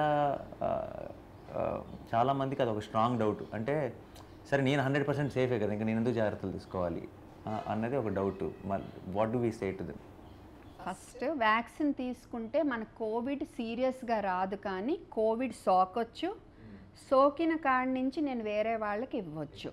అంటే ఏసిమ్టమాటిక్ అని ఇందాక చెప్పా కదా అంటే లక్షణాలు కనపడవు కానీ కోవిడ్ కరోనా వైరస్ నాలో అది అది అది మన్నేం చేయదు. కానీ కానీ మనలో మన మన- మన లోపలికి వెళ్తుంది బట్ మన ఏం చేయదు. ఇంకొకరికి వెళ్తుంది. ఎందుకంటే మన దగ్గర ఉందంటే మనం ఆటోమేటిక్గా వేరే వాళ్ళకి వెళ్ళొచ్చు. అనేది ఇప్పుడు చెప్తున్నారు. ఇంకా మనకి దాని గురించి ఇంకా రీసెర్చ్ జరుగుతుంది. సో ఇంకా we don't know for sure clearly తెలీదు. ఇప్పుడు రెండు. ఒకటి సామాజిక బాధ్యత. సరే నేను బాగుంటే చాలు అనుకుంటే కుదరదు కదా. నీ నుంచి ఇంకొకరికి ఎక్కొచ్చు కదా. మరి వాళ్ళు బాగుండాలి కదా. కాబట్టి కోవిడ్ జాగ్రత్తలు కంటిన్యూ చేయాలి. లేదు. రెండు సరే మీరు స్వార్థపరులు నాకు ఎవరు పట్టరు అనుకోండి. అలా అనుకున్నా నీ బిడ్డకు నువ్వు ఎక్కించవచ్చు నీ బిడ్డకి ఇంకా టీకా వేయలా కదా. అలా అనుకున్నా. కాబట్టి వ్యాక్సిన్ వేయించుకున్న జాగ్రత్తల మట్టుకు మానకూడదు. బేసిక్ జాగ్రత్తలు like mask and washing hands ఇది ఉన్న సరిపోతుంది అంతే. That's all most important thing ya you don't need to do anything else ya అన్ని మన పనులు మనం చేసుకుంటూ వెళ్ళిపోవచ్చు ముందుకి. Just maintain that mask and the hand wash కొంచెం కొంచెం ఆ- బాధ్యత అనేది ఉండాలి. అది అది బిగ్గర్ పిక్చర్లో చాలా డిఫరెన్స్ వస్తుంది అనుకుంటా I think with lot of people and also corona టెస్టుల గురించి big- చాలా మందికి చాలా కన్ఫ్యూజన్స్ ఉంటాయి ఎందుకంటే ఒక్కొక్కరి దగ్గర ఒక్కొక్క టెస్టులు ఏవో చెప్పుంటారు. సో పిల్లల విషయంలో ఎప్పుడు చేయించుకోవాలి? ఏ టెస్టులు చేయించుకోవాలి? రక్త పరీక్షలు లేదంటే సిటీ స్కాన్లు ఇలాంటివన్నీ అవసరమా? సో సో ఇది నేను సింపుల్గా చెప్తా. నాకు నా బిడ్డకి కరోనా అని డౌట్ ఉంది. లక్షణాలు ఉన్నాయి అంటే టెస్ట్ మూడో రోజు చేపించాలి. సుమారుగా. ఏం టెస్ట్ యాంటీజెన్ టెస్ట్ పీసీఆర్ ఉన్నాయి. ఏంటంటే ముక్కులోను గొంతులోను ఒక స్వాబ్ అంటాం. అది పెట్టి కష్టం. కానీ ఒకసారి తప్పదు. సో అది తీసుకెళ్ళి ల్యాబ్లో వైరస్ ఉందో లేదో చూస్తారు. యాంటీజెన్ టెస్ట్లో వైరస్ యొక్క ఒక బాడీ పార్ట్ ఉందో లేదో చూస్తారు. ఈ పీసీఆర్ టెస్ట్లో వైరస్ యొక్క జీన్స్ ఉన్నాయో లేవో చూస్తారు. సో ఈ యాంటీజెన్ టెస్ట్ ఏంటంటే నెగిటివ్ వచ్చింది అనుకోండి అప్పుడు పీసీఆర్ చేపించుకుని అది కూడా నెగిటివ్ వస్తేనే మనం నెగిటివ్ అనుకోవాలి. యాంటీజెన్ టెస్ట్ పాజిటివ్ వస్తే ఇంకా పీసీఆర్ అవసరం లేదు. పాజిటివ్ కిందే తీసుకోవాలి. సో యాంటీజెన్ పాజిటివ్ వస్తే ఇంక వేరే అవసరం లేదు పాజిటివ్ కిందే. యాంటీజెన్ నెగిటివ్ వస్తే మట్టుకు పీసీఆర్ చేపించుకుని ఆ, అప్పుడు కూడా నెగిటివ్ వస్తేనే మనం నెగిటివ్ కింద తీసుకోవాలి. రెండోది ఏంటి ఇప్పుడు నాకు కోవిడ్ ఉంది. ఓకే? బిడ్డ నన్ను ఇవాళ కలుసుకున్నాడు. ఓకే? ఇప్పుడు వాడికి ఎప్పుడు టెస్ట్ చేయించాలి కోవిడ్ వచ్చిందా లేదా? చాలామంది ఏం చేస్తున్నారు? నెక్స్ట్ డేనే గబగబా చేపించేస్తున్నారు అది నెగిటివే వస్తుంది. నెగిటివే వచ్చింది కదా అని హ్యాపీగా మళ్ళీ అందరితో కలిసిపోతారు. ఇంక- ఇంకొకరికి వెళ్ళిపోతుంది సో ఇలాంటప్పుడు టెస్ట్ ఎప్పుడు చేయించాలంటే నన్ను కలుసుకున్న తర్వాత ఐదు నుంచి పది రోజుల మధ్య చేపించాలి ఓకే? ఇంతవరకు క్లియర్ కదా? తర్వాత ఇది ఆల్సో ఇది అప్లైస్ టు ద పెద్దవాళ్ళకి కూడా కదండి. అంటే చాలా మంది నేను చూస్తూ ఏంటంటే ఇప్పుడు బయటికి వెళ్ళి అనుకోకుండా క్రౌడ్లోకి వెళ్ళి వచ్చాను ఈ రోజు సాయంత్రం టెస్ట్ చేయించుకుంటా ఇంటికి వెళ్ళిపోతాను అనుకుంటారు no it doesn't it doesn't make sense because ఇంత త్రీ డేస్ అయ్యేదాకా it won't show you have to isolate అది బెస్ట్ ఐదు నుంచి పదో రోజు మధ్య చేయాలి. అది నెగిటివ్ వచ్చినా ఏం చేయాలనేది నేను తదుపరి చెప్తాను. ఓకే ఇక్కడ ఏంటంటే ఇంకో మిస్టేక్ పాజిటివ్ వచ్చిందనుకోండి. పాజిటివ్ వచ్చిందనుకోండి. లేదా కరోనా లక్షణాలు ఉన్నాయి బట్ నెగిటివ్ వచ్చినా ఇంట్లో అందరికీ పాజిటివ్. ఈ బిడ్డ కరోనా లక్షణాలు ఉన్నాయి కానీ టెస్ట్ నెగిటివ్ వచ్చినా మీరు పాజిటివ్గానే తీసుకోండి. ఓకే? అది కూడా ఇంపార్టెంట్. లక్షణాలు ఉన్నాయి అయినా నెగిటివ్ వచ్చింది కాబట్టి నెగిటివ్ అనుకోవద్దు. ఇదొకటి. Percent accurate. అవును ఒక్కోసారి మిస్ అవ్వచ్చు మనం. ఎందుకంటే దీనివల్ల ఏంటి మనం వాడిని వేరే వాళ్ళని కలవనిస్తే మళ్ళీ స్ప్రెడ్ అయిపోతుంది. ఓకే? ఇంకోటి ఏంటంటే చాలామంది పాజిటివ్ రాగానే వాళ్ళకి ఒప్పుకోబుద్ధి కాదు. దే ఆర్ ఇన్ డెనయల్ అనమాట ఏం చేస్తారు? నెక్స్ట్ ఎలాగోలా నెగిటివ్ రిపోర్ట్ ఒకటి తెప్పించుకుంటారు. ఇంకా ట్రావెల్ ఇది వెళ్ళిపోతారు. అది చాలా తప్పు. ఒక్కసారి పాజిటివ్ వస్తే ఆ లక్షణాలు ఉంటే లక్షణాలు ఉంటే లక్షణాలు మొదలైన కాడి నుంచి పాజిటివ్ వస్తే పాజిటివ్ మొదలైన కాడి నుంచి టెన్ డేస్ ఐసోలేట్ చేసుకోవాలి. అది కూడా లక్షణాలు ఎక్కువ రోజులు ఉంటే కనుక ఇంకా ఎక్కువ రోజులు డాక్టర్ చెప్పిన దాన్ని బట్టి ఐసోలేట్ చేసుకోవాలి. అంతేకాని ఒక టెస్ట్ నెగిటివ్ కోసం వచ్చేసిందని మనం మానకూడదు. ఫస్ట్ అసలు చేయకూడదు కూడా. ఒకసారి టెస్ట్ పాజిటివ్ వస్తే.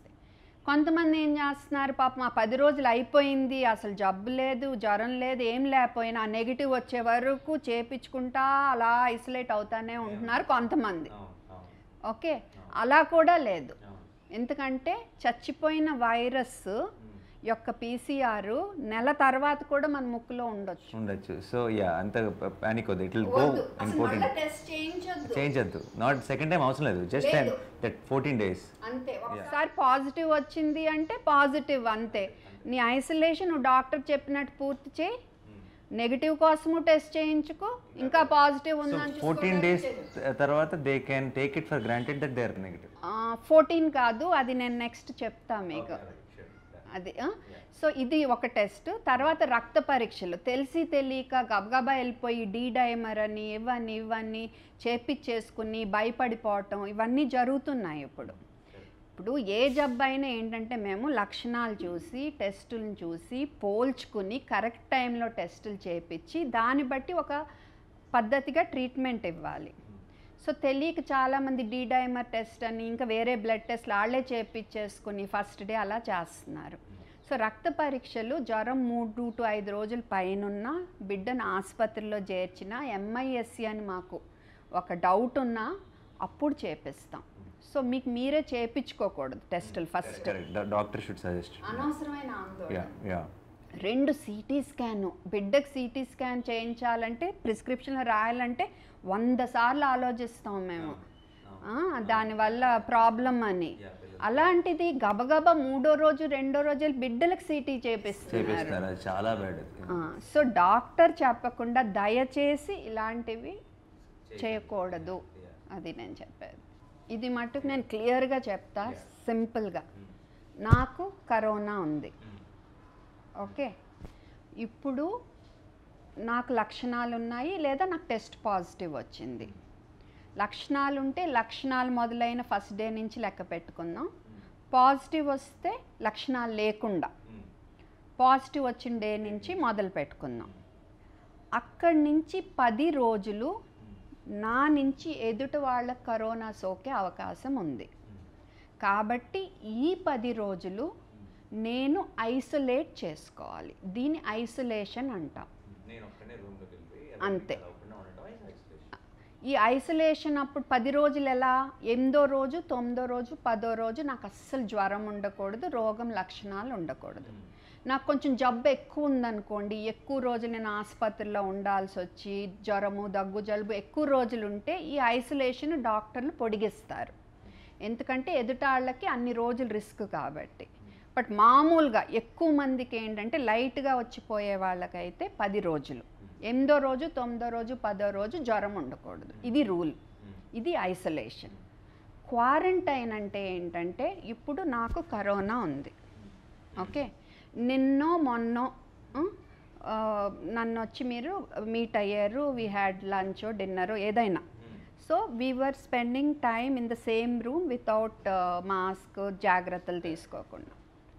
మీరు నాకు కాంటాక్ట్ ఈ వర్డ్ కాంటాక్ట్ కాంటాక్ట్ ఎప్పటి నుంచి? నాకు కరోనా జబ్బు మొదలైన కాడి నుంచి చూసుకుంటే రెండు రోజుల ముందు నుంచి నలభై ఎనిమిది గంటల ముందు నుంచి నాకు జబ్బు మొదలైన నా ఐసోలేషన్ పీరియడ్లో ఎప్పుడైనా నన్ను కలుసుకుంటే మీరు కాంటాక్ట్ సో నాకు జబ్బు మొదలైనా లేదా నాకు పాజిటివ్ టెస్ట్ వచ్చిన దగ్గర నుంచి రెండు రోజుల ముందు నుంచి నా ఐసోలేషన్ పీరియడ్ పూర్తిగా ఈ లోపు ఎప్పుడైనా నన్ను కలుసుకుంటే మీరు నాకు కాంటాక్ట్ నన్ను కాంటాక్ట్ చేసిన లాస్ట్ కాంటాక్ట్ చేసిన అప్పటి నుంచి చూసుకుంటే నెక్స్ట్ పద్నాలుగు రోజుల్లో ఎప్పుడైనా మీకు జబ్బు లక్షణాలు బయటపడవచ్చు సో ఇప్పుడు ఇప్పుడు ఒకవేళ నేను మేము మీ కాంటాక్ట్లో వచ్చాను మీరు పాజిటివ్ అని తెలిసింది.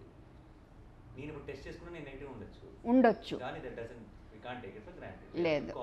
ఆ, పద్నాలుగు రోజుల్లో ఎప్పుడన్నా మీకు జబ్బు బయటపడవచ్చు ఇందులో మార్పులు పాసిబిలిటీ కాబట్టి జనరల్గా దూరంగా ఉండటం బెటర్ బెటర్ కానీ టెస్ట్ చేయించుకున్న ఐదు నుంచి పదో రోజు మధ్య చేయించుకోవాలి ఎందుకంటే తొంభై శాతం మందికి లక్షణాలు అప్పుడు బయటపడతాయి బట్ అది నెగిటివ్ వచ్చినా నేను చెప్పేది ఏంటంటే ఇంకొక నాలుగు రోజులు ఎక్స్ట్రా ఏముంది? చేసుకుంటే మీ వల్ల ఎదుటాళ్ళకి ఇబ్బంది లేకుండా ఉంటుంది. ఈ పద్నాలుగు రోజులు మీకు ఏమీ రాలేదు పాజిటివ్ అవ్వలేదు అనుకోండి గుడ్ అయిపోయింది మదర్కి పాజిటివ్ అయితే ఇప్పుడు లెట్స్ బేబీ ఆ ఫీడింగ్ స్టేజ్లో ఉన్నప్పుడు సో uh, uh, uh, వాళ్ళు దే కెన్ ఫీడ్ స్టిల్ ఫీడా ఆర్ వాళ్ళు ఆ ఫీడింగ్ స్టేజ్లో ఉన్నప్పుడు వ్యాక్సిన్ తీసుకోవచ్చా? ప్రెగ్నెన్సీలో వ్యాక్సిన్ తీసుకోవచ్చా? సో ఇలాంటి డౌట్స్ కూడా ఐమ్ షూర్ చాలా మందికి ఉన్నాయి. ఇప్పుడు తల్లికి కోవిడ్ వస్తే బిడ్డకు పాలు ఇవ్వచ్చా లేదా అనేది కదా మీ ప్రశ్న. తప్పనిసరిగా ఇవ్వాలని అందరూ చెప్తున్నారు. డబ్ల్యూహెచ్ఓ కానీ ఇండియన్ అకాడమీ ఆఫ్ పీడియాట్రిక్స్ కానీ సిడిసి అందరూ చెప్పేది అదే. కాకపోతే ఏంటంటే తల్లి మంచి మాస్క్ వేసుకోవాలి. అంటే తల్లి నుంచి బిడ్డకి కోవిడ్ సోకకుండా. మంచి మాస్క్ అంటే ఇందాక చెప్పాను ఎన్ నైంటీ ఫైవ్ కానీ లేదా సర్జికల్ మాస్క్ వేసుకుని దాని మీద క్లాత్ మాస్క్ కానీ. చేతులు ఎప్పటికప్పుడు శుభ్రంగా కడుక్కుంటూ ఉండాలి. ఓకే? ఇది చాలా ముఖ్యమైన విషయం. ఓకే? ఆ, తల్లిపాలు కంటిన్యూ చేయాలి. అండ్ ఇంకా ఏంటంటే ఇంకా దీనికి ఆధారం అయితే పూర్తిగా లేదు కానీ తల్లి నుంచి యాంటీబాడీస్ బిడ్డకెళ్ళి రక్షణ కల్పిస్తాయి అనేది కూడా ఒకటి ఉంది ఓకే? తర్వాత తల్లికి పాలిచ్చే తల్లికి గర్భిణీ స్త్రీకి టీకాల విషయంలో. టీకాల విషయంలో తప్పనిసరిగా వేయించుకోవాలి. మొన్న కొన్ని నెలల క్రితమే మనకి ఇది పాలిచ్చే తల్లులకి ఇవ్వచ్చని వచ్చింది జీవో. ఇప్పుడు మొన్న ఇరవై ఐదో తారీఖున గర్భిణీ స్త్రీలు కూడా టీకా తీసుకోండి కోవిడ్ అని వచ్చింది. కాబట్టి తప్పకుండా తీసుకోండి. దానివల్ల మీ కోవిడ్ రాదు మీకు రాకుండా ఉండటం వల్ల బిడ్డకి రక్షణ. వచ్చినా లైట్గా వస్తుంది కోవిడ్. అవును. ఎందుకంటే మన ఫ్రెండ్స్లో కానీ ఈ ఈ టైంలో ఈ ఫస్ట్ వేవ్ సెకండ్ వేవ్ టైంలో ఎక్కువ స్ట్రెస్ అయిపోయింది. నేను చూసిన వాళ్ళల్లో are the ones are the mothers and mothers కూడా when they had infants and when they are feeding and the ones in pregnancy మళ్ళీ. అంటే చాలా స్ట్రెస్ అయిపోయింది. ఎంత స్ట్రెస్ అది? అంటే మామూలుగా మనమే ఇంత స్ట్రెస్ అవుతుండే మామూలు బయటకు వెళ్ళి వచ్చినప్పుడు వాళ్ళకైతే అసలు అంటే అండ్ ఇంకోటి ఏంటంటే ఎంత జాగ్రత్తలు తీసుకున్నా సరే హండ్రెడ్ పర్సెంట్ సేఫ్టీ సిచ్యువేషన్ కాదు. ఎటు నుంచి ఎలా అయినా జరగచ్చు. అండ్ నేను నాకు తెలిసిన వాళ్ళలోనే చాలా స్ట్రెస్ అయిన వాళ్ళు ఉన్నారు. సో వాళ్ళకి డెఫినెట్గా ఈ ఇన్ఫర్మేషన్ చాలా ఇంపార్టెంట్. ఈ కరోనా వ్యాక్సినేషన్కి సంబంధించి there are still I have seen a lot of people అంటే చాలా కొంతమంది ఇప్పుడు ఎవరో తెలియని వాళ్ళు ఎక్కడో సరిగ్గా ఇన్ఫర్మేషన్ లేని వాళ్ళు వ్యాక్సినేషన్ మీద వాళ్ళకి రకరకాల మూఢనమ్మకాలు ఇంకోటి ఏదో అని చిన్న భయపడిపోతే ఒక రకం ఒక అర్థం ఉంది. కానీ నేను చాలామందిని సిటీలో చాలా ఎడ్యుకేటెడ్ పీపుల్ మధ్యలో కూడా I have I have witnessed that they are not very ఏమంటారు వ్యాక్సినేషన్ అంటే ఏదో అదని ఇదని ఏదో స్టోరీ చెప్పి ఫ్రెండ్స్ ఎవరైనా ఫ్రెండ్స్తో మాట్లాడినప్పుడు కూడా నేనైతే వ్యాక్సినేషన్ వేయించుకోను ఇలాంటి స్టేట్మెంట్లు పాస్ చేయడం చూస్తున్నాను. So how do we get over this so what do ఒక్కటి చెప్తున్నా నాని గారు. ఇప్పుడు మీ బాబుకి మీరు టీకాలు వేయించారు అలా అందరూ వాళ్ళ పిల్లలకి వేపిస్తున్నారు జ్వరం వస్తుందని తెలియక వేపిస్తున్నారా రియాక్షన్ ఛాన్స్ ఉంటుందని తెలిసే వేపిస్తున్నారు కదా. నూ లక్ష లక్షలో ఒక్కళ్ళకి కూడా రాదు రియాక్షన్ తెలిసే వేపిస్తున్నాం ఎందుకు అవి భయంకరమైన జబ్బులు పిల్లల్ని కాపాడాలని? మరి మీ వరకు వచ్చేసరికి టీకా ఇస్తే జ్వరం వస్తుందంట ఒకరోజు ఒళ్ళు నొప్పులు వస్తాయంట రియాక్షన్ వచ్చే ఛాన్స్ ఉందంట అని ఎందుకు వేయించుకోవటం లేదు? ఆ- ఆ ఛాన్స్ ఎంత? ఈ ఛాన్స్ ఎంత.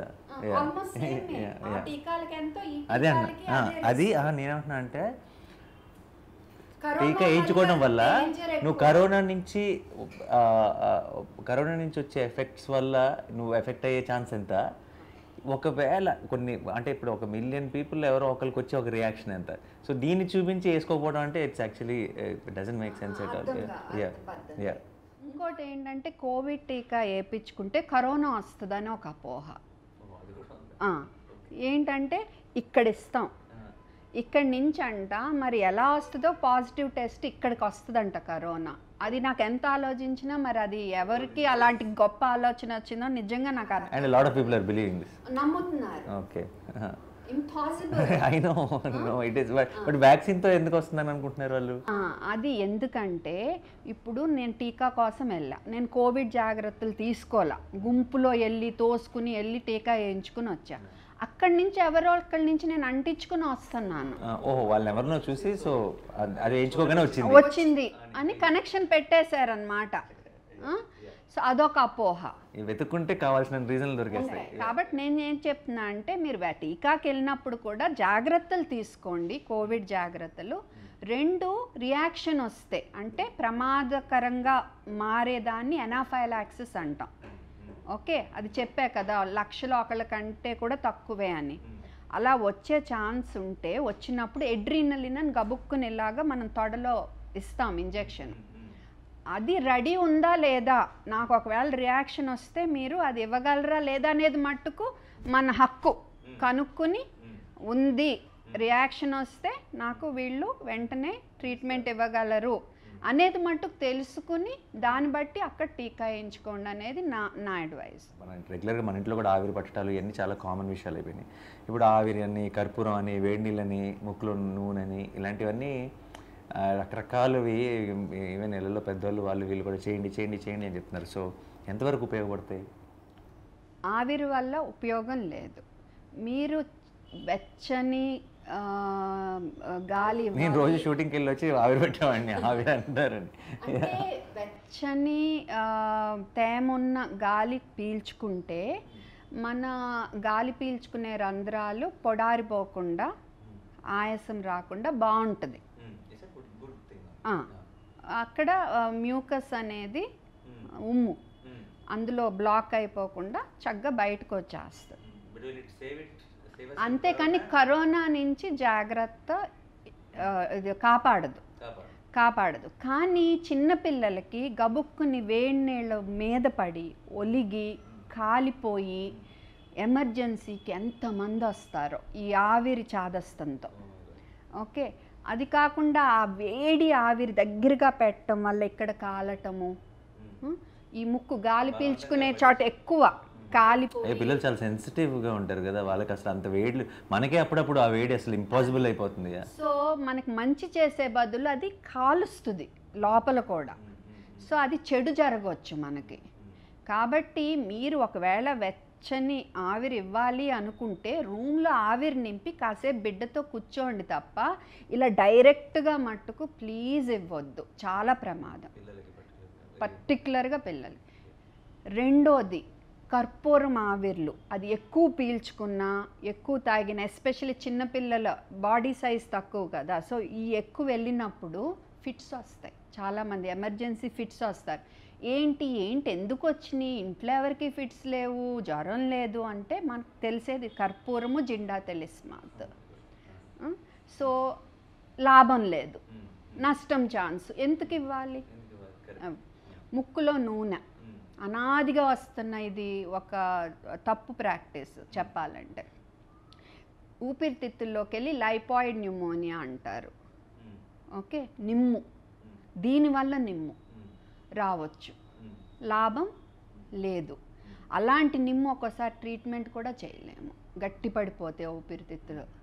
మరి ఎలా అలాంటప్పుడు మనం ఇలాంటివి ఇవ్వచ్చా ఎక్కువ డేంజర్లు ఎక్కువ ఉన్నాయి అన్నిటిలోనూ. ఈ టైంలో ఇంకోటి కూడా చెప్పదలుచుకున్నాను నేను ఈ చేయకూడనివి ఇవన్నీ.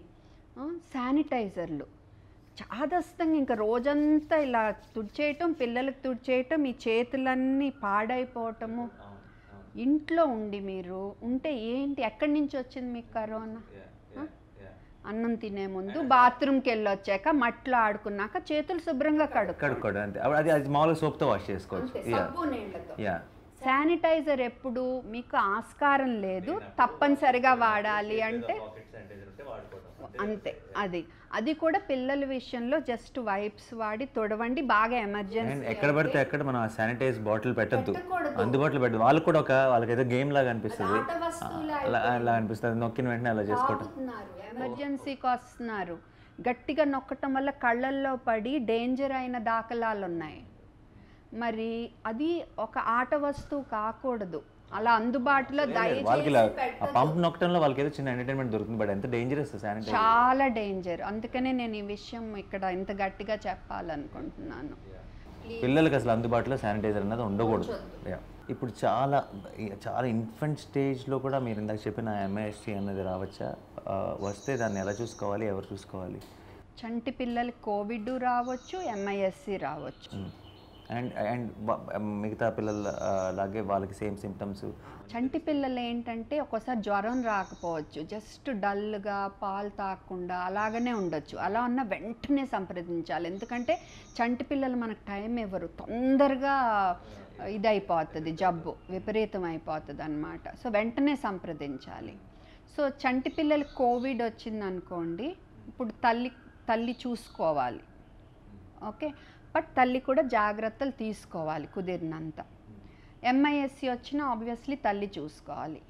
ఇక్కడ తల్లికి కోవిడ్ వచ్చింది అనుకోండి బిడ్డను తల్లి చూసుకుంటుంది. చాలాసార్లు ఏం జరుగుతుందంటే ఈ ఎంఐఎస్సి అనేది సారీ తల్లికి కోవిడ్ వచ్చింది అనుకోండి డెలివరీకి ముందు అప్పుడు చంటి బిడ్డ అప్పుడే పుట్టిన చంటి బిడ్డలకు కూడా ఎంఐఎస్సి రావచ్చు. ఇక్కడ నేను ఒక పాయింట్ ఏం చెప్పాలనుకుంటున్నా అంటే చాలాసార్లు తల్లిదండ్రులు వాళ్ళ కోవిడ్ వచ్చింది అనుకోండి పిల్లల్ని అమ్మమ్మ తాతల ఇంటికి పంపించేస్తున్నారు కంగారు పడిపోయి. అక్కడ ఏమవుతుంది? ఈ బిడ్డలకు ఆల్రెడీ వచ్చేసి ఉంటుంది కరోనా సోకు ఉంటుంది. వాళ్ళకి ఇస్తారు ఆ తప్పు మట్టుకు చేయకూడదు. ఎందుకంటే వాళ్ళకి సీరియస్ అయ్యే ఛాన్స్ ఎక్కువ. సో మీరే చూసుకోండి. జాగ్రత్తలు తీసుకోండి. బిడ్డ కరోనా వస్తే దాన్ని బట్టి మీరు చూసుకోండి. ఓకే అంతేకాని అమ్మమ్మ తాతల దగ్గర వేరే జబ్బులు ఉన్న వాళ్ళ దగ్గరికి పంపొద్దు. ఇప్పుడు డిపిటి పోలియో ఎంఎంఆర్ ఇలాంటి టీకాలు ఉన్నాయి కదండి. అవి ఈ టైంలో వేయించచ్చా లేదంటే కరోనా జనరల్గా కరోనా వచ్చిన వాళ్ళకైతే కరోనా తగ్గిన తర్వాత ఎన్నేళ్ళకి వేయించాలి ఏంటి? ఈ డిపిటి ఎంఎంఆర్ టీకాలు చాలా ముఖ్యమైన టీకాలు. ఓకే కాబట్టి షెడ్యూల్ ప్రకారం మనం వేయించుకుంటేనే మంచిది. కరోనా వచ్చి తగ్గాక ఒక రెండు వారాలు ఆగి ఈజీగా మనం మామూలు టీకాలు వేయించుకోవచ్చు. ఓన్లీ థింగ్ ఈజ్ ఆ టీకాలు వేయించుకోవటానికి వెళ్ళినప్పుడు కూడా మీరు కరోనా జాగ్రత్తలు పాటిస్తా గుంపుగా లేకుండా కొంచెం బిడ్డను ఎత్తుకుని దూరంగా కూర్చోవటము ఈ జాగ్రత్తలు తీసుకుంటా టీకాలు మట్టుకు మానకుండా వేయించుకుంటేనే మంచిది. ఇప్పుడు మా అందరం మేము కూడా స్టార్ట్ చేసాం ఆక్సిజన్ పల్స్ ఆక్సిమీటర్ అన్నది సో రెగ్యులర్గా ఎప్పుడైనా షూటింగ్కి వెళ్ళి వచ్చినా సరే వేర్ చెకింగ్ అనమాట రెగ్యులర్గా. అది how important is that oxygen oxygen level తప్పనిసరిగా చూడాలి. ఇప్పుడు మన దగ్గర ఉండే పల్స్ ఆక్సిమీటర్లు ఎక్కువ ఇలాంటివి మనకి. ఇవి పెద్దాళ్ళ ఏలుకు బాగా పట్టేవి. మీ దగ్గర ఉన్నాయి అన్ని. ఓకే. సో ఏమవుతుంది? ఇప్పుడు ఫస్ట్ పల్స్ ఆక్సిమీటర్ పెట్టుకునే ముందు మన చేతులు వెచ్చగా ఉండాలి. ఇక్కడ పౌడర్లు ఇలాంటివి ఏమి ఉండకూడదు. ఫిక్స్ అవ్వాలి నీట్గా. అయ్యాక ఇక్కడ వేవ్ ఫామ్స్ చూసారా? అలల్లాగా వస్తున్నాయి. అవి నీట్గా స్టడీగా వచ్చాక అప్పుడు మనం దాన్ని రీడింగ్ తీసుకోవాలి. పిఆర్ అని ఉన్నది ఏంటంటే మన పల్స్ రేట్. ఇదేమో ఆక్సిజన్ ఎస్పిఓ టూ అని ఉంటుంది. ఇలా వస్తేనే ఇది కరెక్ట్. ఓకే? సో ఇది ఏలుకు సరిగ్గా పట్టలేదనుకోండి. తప్పు చూపిస్తుంది తక్కువ చూపిస్తుంది. బిడ్డ బాగానే ఉంటాడు ఆక్సిజన్ సెవెంటీ అని ఎమర్జెన్సీకి వెళ్ళిపోతున్నారు. కాబట్టి చిన్నపిల్లల బికాజ్ వేలు సరిగ్గా ఫిట్ అవ్వదు కాబట్టి మన ఊరికి అలా పెట్టేసి చూసి అవి తక్కువ అయిపోయింది అనుకుంటాం సో ఫిట్ అయితే అలలు నీట్గా నేను చెప్పినట్టు వస్తే అప్పుడు ఆ వాల్యూకి మనం ఇది కరెక్ట్ అని అనుకోవచ్చు. కాబట్టి నేను చెప్పేది ఏంటంటే ఉంటే చూడండి కానీ నేను చెప్పినట్టు కరెక్ట్గా చూడండి. ముఖ్యం ఏంటంటే బిడ్డ డల్లున్నా చేతులు పెదాలు ఇవన్నీ పింక్ ఉండాలి. పింక్ లేకుండా పేలగా లేదా బూడిద రంగులో లేదా నీలంగా ఉన్నా అలా ఆయాసంగా ఉన్నా అలా గాలి పీల్చుకోవట కష్టపడుతున్నా డల్ ఉన్నా హాస్పిటల్కి వెళ్ళిపోండి ఇక్కడ ఇంకా ఆక్సిజన్ కాదు. ఇంకా దెన్ ద పల్స్ వెళ్ళిపోండి. ఆ సైన్ స్టార్ట్ అయిన తర్వాత ఇంకా పల్స్ ఆక్సిమీటర్తో పని లేదు. ఉంటే చూడండి కానీ కరెక్ట్గా చూడండి లేకపోతే వద్దు. అంతే. ఇప్పుడు మామూలుగా పెద్దవాళ్ళకి ఇచ్చే మెడికేషన్ అయినా పిల్లలకు కూడా కరోనా వస్తే లేదంటే వాళ్ళకి ఏ మందులు ఇవ్వాలి? వేరే వేరే ఏదైనా ప్రాబ్లమ్తో వేరే మందులు తీసుకుంటే అవి కంటిన్యూ చేయొచ్చు ఆ పిల్లలకి? ఇప్పుడు మందుల విషయంకి వచ్చే ముందు ఒక్కసారి మీరు ఇందాక అడిగిన క్వశ్చన్కి ఆక్సిజన్ కూడా తొంభై ఐదు లోపు ఉంటే హాస్పిటల్కి తీసుకెళ్ళాలి. తొంభై లోపు ఉంటే అది ప్రమాదం కింద అంతే. తొంభై లోపు ఉంటే ప్రమాదం కింద లెక్క. ఇప్పుడు వచ్చేసరికి ఈ మందుల విషయం. Azithromycin favipiravir fabiflu doxycycline ivermectin hydroxychloroquine steroids ఎవరు పడితే వాళ్ళు ఇదిగో మా అబ్బాయికి ఇది ఇచ్చామని చీటీల్లో వాట్సాప్లో మెసేజ్లు పెట్టుకుని కూడా ఇచ్చేసుకున్నారు కొన్ని రోజులు. ఇప్పుడు తగ్గింది చెప్పాలంటే. ఓకే. పిల్లలకి. ఇందులో ఏవి పనిచేయవు పిల్లలకి? ఏవి కరోనాని చంపవు. కాబట్టి నూట్లో తొంభై ఎనిమిది మందికి కరోనా వస్తే జస్ట్ జ్వరం దగ్గు జలుబు వాంతులు విరోచనాలతో కోలుకుంటారు. వాళ్ళు ఇవ్వాల్సిందల్లా ప్రథమ చికిత్స అంతే. ఓకే? ఎంతమంది ప్రతి ఒక్కళ్ళు ఎజిత్రోమైసిన్ ఇచ్చేస్తున్నారు. దీనివల్ల లాభం లేదు నష్టమే. ఇప్పుడు వాంతులు విరోచనాలు మొదలైనవి అనుకోండి. మళ్ళీ అదొక డౌట్ మనకి? స్టిరాయిడ్లు అనవసరంగా ఇచ్చేయమనుకోండి అది చాలా పెద్ద సమస్య. చాలా రకరకాల జబ్బులు వచ్చేస్తాయి మీరు చూసారు పెద్దాళ్ళు ఫంగస్ అని నల్ల ఫంగస్. అండ్ వీళ్ళకి ఫ్యూచర్ పిల్లలకి పర్టికులర్గా పెరిగే వయసులో స్టెరాయిడ్స్ లాంటివి అనేది ఐ థింక్ ఆఫ్టర్ ఎఫెక్ట్స్ చాలా చాలా కాలం వరకు ఉంటాయి. కొన్ని ఉన్నాయి. ఇది ఇప్పుడు రెండు సైడ్లు పదునున్న కత్తి లాంటివి స్టెరాయిడ్స్. కరెక్ట్గా వాడితే కరెక్ట్ టైంకి మంచి. అవసరం లేకుండా వాడితే చాలా బ్యాడ్. సో అది జాగ్రత్తగా మనం డాక్టర్ అడ్వైస్ బట్టి వాడాలి ఫస్ట్. రెండు మందులు ఏమున్నాయి? రెండో వారంలో ఒకవేళ జబ్బు ముదిరితే ఒక్కోసారి స్టీరాయిడ్లు అవసరం పడవచ్చు ఎంఐఎస్సి లాగా వస్తే ఐవి ఇమ్యునోగ్లోబులిన్ పడవచ్చు అవసరం పడవచ్చు గుండె ఏమన్నా ఎఫెక్ట్ అయినా రక్తనాళాల్లో రక్తం గడ్డ కట్టుకుంటున్న ఆస్పిరిన్ హెపరిన్ ఇలాంటివి ఇస్తాము. అంటే కరోనా వల్ల వచ్చే పరిణామాలకు మన దగ్గర వైద్యం ఉంది కానీ కరోనా చంపటాకి పిల్లల విషయంలో లేదు. సో అనవసరంగా మీరు ఆ మెసేజ్లు ఈ మెసేజ్లు చూసి మందులు ఇవ్వకూడదు. నష్టం ఎక్కువ లాభం ఉండదు. రెండు నెలల తరబడి zinc vitamin C vitamin D. అది కూడా మంచిది కాదు. ఎక్కువ నెలల తరబడి విటమిన్ సి ఇచ్చినా అది యూరిన్లో వెళ్ళిపోతుంది. మోస్ట్లీ అయినా కొంతమందికి కిడ్నీ స్టోన్స్ రావచ్చు రాళ్ళు కిడ్నీల్లో. ఇదే విధంగా ఈవెన్ జింక్ కూడా మనం నెలల తరబడి ఇవ్వకూడదు? దానివల్ల కూడా కొన్ని సమస్యలు ఉన్నాయి విటమిన్ డి తెలియక పెద్ద డోసులు ఇస్తే కిడ్నీలు దెబ్బతినొచ్చు. తలలో ప్రెషర్ పెరగవచ్చు Hmm. అంటే మంచి మంచి అని ఎవరైనా చెప్తే చాలా మనం చాలా ఇమీడియట్గా ఎక్కువ ఎక్కువ ఇచ్చేస్తా. ఉంటాం అది ఎంత కరెక్ట్గా ఎంత ఇవ్వాలి ఏమి ఇవ్వాలి అని తెలుసుకోవడం ఎంత ఇంపార్టెంట్ ఎన్ని రోజులు ఇవ్వాలి కూడా చాలా ఇంపార్టెంట్ తర్వాత ఇమ్యూనో బూస్టర్లు అడ్వర్టైజ్మెంట్ల మీద అడ్వర్టైజ్మెంట్లు. అది కూడా ఓ ఇచ్చేసి నాటు మందులు ఇచ్చేసి చాలా పాపం ఇదిలో ఉన్నారు. ఎందుకంటే తల్లిదండ్రులకి ఏంటి ఏదో ఒక ఆశ. ఈ మందు పనిచేస్తాను కానీ చేస్తారు. కానీ వాళ్ళ న్యాచురల్ ఇమ్యూనిటీ ఒకటి దెబ్బతింటుంది కదా. యా ఈ- మందు ఇస్తే రాదంట అని అనుకుంటారు. లేదు మంచి ఆహారం కాయగూరలు పండ్లు ఉన్న ఆహారం మంచిగా ఇవ్వండి. టీకాలు తీసుకోండి టైంకి టీకాలు పిల్లలకి ఇవ్వండి. కోవిడ్ జాగ్రత్తలు తీసుకోండి. ఇదే మీ ఇమ్యునో బూస్టర్ వేరే ఏమొద్దు థ్యాంక్ యూ అంటే మన ఐ థింక్ మనం అన్ని ఆల్మోస్ట్ ప్రాపర్ పాయింట్స్ అన్ని కవర్ చేస్తాం సో ఒకవేళ మీరు ఒక ఒక్కసారి బ్రీఫ్గా అందరి కోసం ఇఫ్ మోస్ట్ ఇంపార్టెంట్ పాయింట్స్ని కవర్ చేయాల్సి వస్తే what will you tell every one ఆందోళన వద్దు. అవగాహన పెంచుకోండి. సిద్ధంగా ఉండండి. టీకాలు వేయించుకోండి కోవిడ్ జాగ్రత్తలు పాటించండి. ముఖ్యంగా సామాజిక బాధ్యతతో మెలగండి. Super thank you so much doctor I think we covered everything and I'm so happy ఈరోజు we we were able to do this and you thought about this and నాకు ఆ రోజు ఫోన్ చేసినప్పుడే నాకు అనిపించింది ఎంత ఇంపార్టెంట్ ఇది. చాలామందికి ఇప్పుడు మీరు అన్నట్టు వెబ్సైట్సే కాదు ఏ ఇన్ఫర్మేషన్ అయినా సరే ఇంగ్లీష్లో అట్లా ఇట్లా ఉంటుంది కానీ ఒక తెలుగులో మనకి కావాల్సిన మనకి ఏ పిల్లలకు సంబంధించి ఏ డౌట్ ఉన్నా సరే ఒక- ఒక ఒక ఇంటర్వ్యూ చూస్తే ఒక క్లారిటీ వచ్చేయాలి. పేరెంట్స్కి బేసిక్గా ఏం చేయాలి ఎలా అప్రోచ్ అవ్వాలని. ఐ హోప్ దట్ ఈ వీడియో చూసిన చాలామంది పేరెంట్స్కి వాళ్ళ జనరల్ స్ట్రెస్ లెవెల్స్ తగ్గి ఓకే నాకు ఇప్పుడు సినారియో ఏంటి అర్థమైంది I can be at peace అని అనుకుంటారని I'm hoping.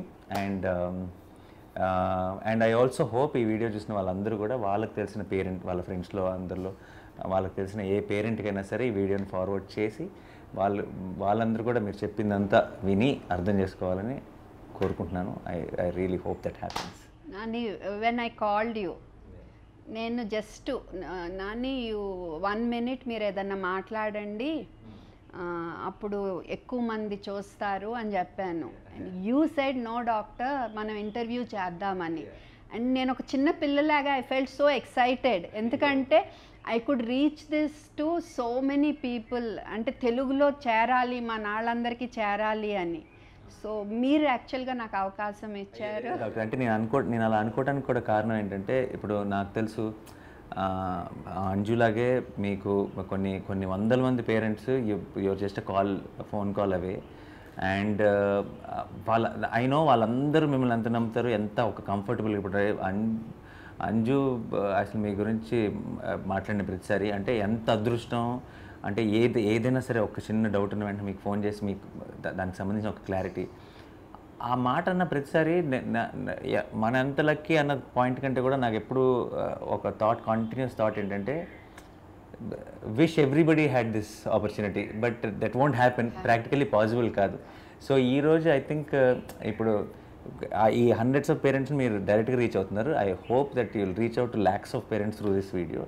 And I I hope it it will make it easier for them to understand what's happening around and yeah వాళ్ళందరి తరఫు నుంచి నా తరఫు నుంచి thank you so much once again thanks a lot ఒక్క చిన్నది లేటెస్ట్దే చదవండి ఇన్ఫర్మేషన్. ఈ వెబ్సైట్లో కూడా రెండు వేల ఇరవై ఐదు కాకుండా ఎప్పుడు చదువుకున్నా అండ్ రోజు రోజుకి మారుతున్నాయి కాబట్టి సిచ్యువేషన్స్ కాబట్టి మారుతుంది. కాబట్టి లేటెస్ట్ ఇన్ఫర్మేషన్ ఉంది perfect thank you so much thanks